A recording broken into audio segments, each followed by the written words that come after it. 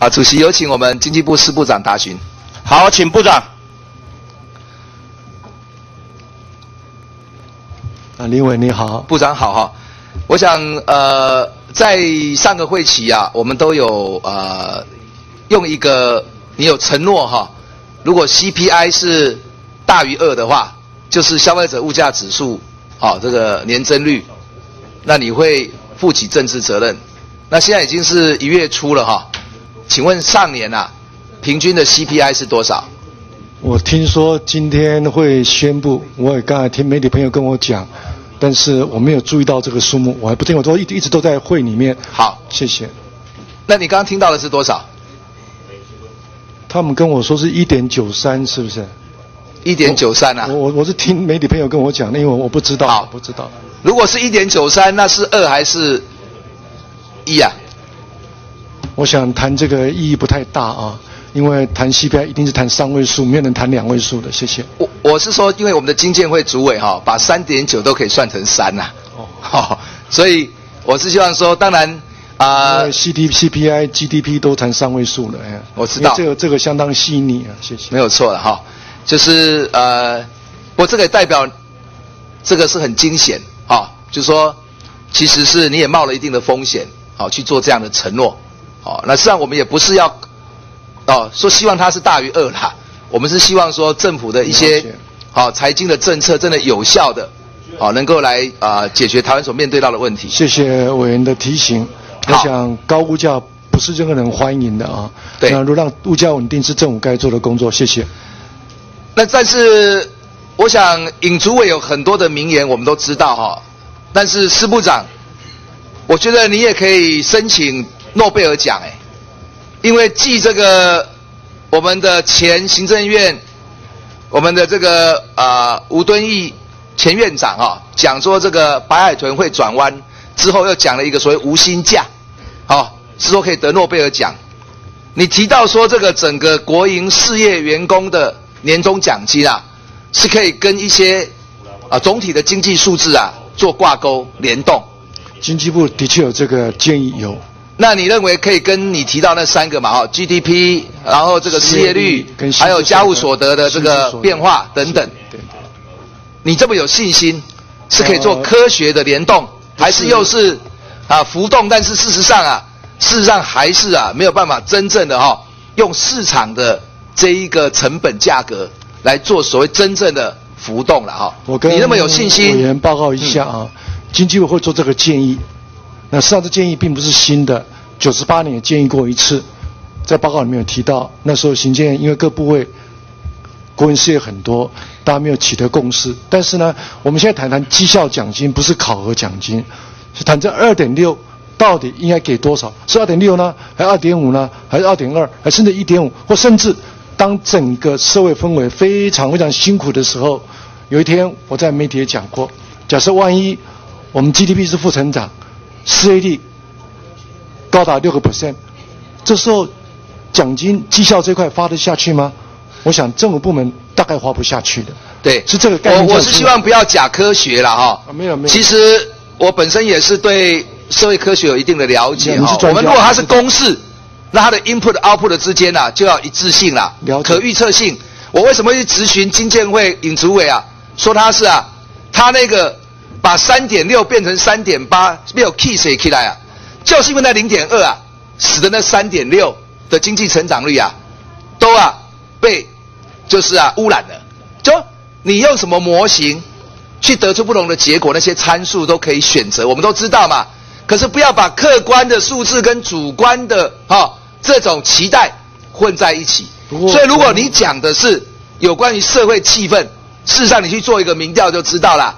好。不用去说用假科学，我们好像感觉把它三等份，然后怎么去弄？没有没有。我说这个东西哦，说实在，我还要再质疑，就是说，包括你那个浮动电价都是假的，因为不是真正的浮动，它有时差三个月，啊，它也没有浮动电表，可以用这样的一个计价的方式。所以我建议啊，其实为政啊，最重要就是诚实，是什么？是什么？当然我们如果没有那样的一个科学的方法论的基础啊，硬去讲说我们这个叫做联动。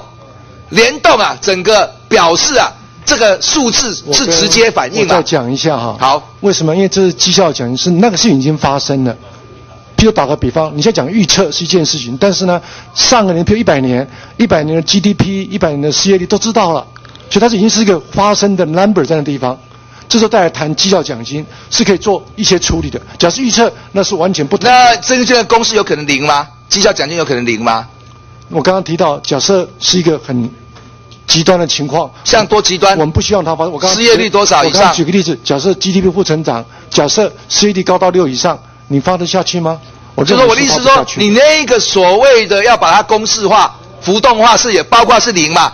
就说理论上是包括嘛？二点六，零到二点六。对，然后才去看参数嘛，去加权怎么处理嘛？基本概念是这样来。哦，所以就不是说你硬要。领了两成的考成之后，另外二点六里面再去分什么一一零点六，是不是？哦，然后怎么样？然后不是。万一个，我们基本上我们都做过统计嘛，很多几率性的问题，你北塞给他攻哦，千万分之一啊的情形嘛，所以它还是有个 range，有个范围，只是说这个范围，我认为说基本上这样去去处理哈，还是没有解决一个结构性的根本的问题。我们的国营事业是假国营事业啊，不公不平的国营事业啊，说实在我们。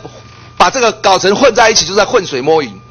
今天如果真的国营事业，好，你说台电会去买电，电业自由化，然后像 I P P 这个买，然后造成这么不不不平等的契约，然后这里面我们当然质疑是台电公安派啦，还是高人指点去设计出来的一套方法，事实上来防防止被监督啦，以及做利益的一种输送。